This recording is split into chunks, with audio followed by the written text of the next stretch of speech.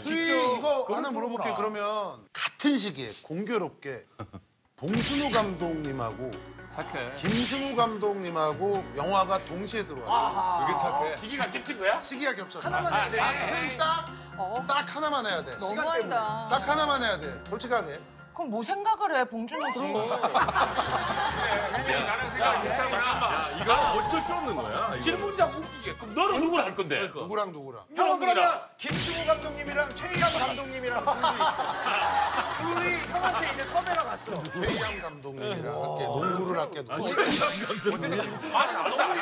그럼 호동이 형은 김승우 감독님, 봉준호 감독님 둘다 너무 큰 역할이 들어왔어. 어. 이러면 어떤 감독님? 호동이 감독, 나지. 김 감독. 하나, 둘, 셋. 동감 호동이. 봉동이 있다 야. 끝까지 야. 마지막으로 질문할게. 마지막 이 얘기 계속할래? 입학 신청서 줘.